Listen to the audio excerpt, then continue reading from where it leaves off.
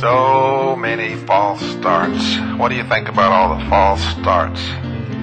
You know, things that begin and are never finished. If you start something, you ought to finish it. Unless, you know, you decide right away that it's not worth finishing, and then in that case, why bother to finish it?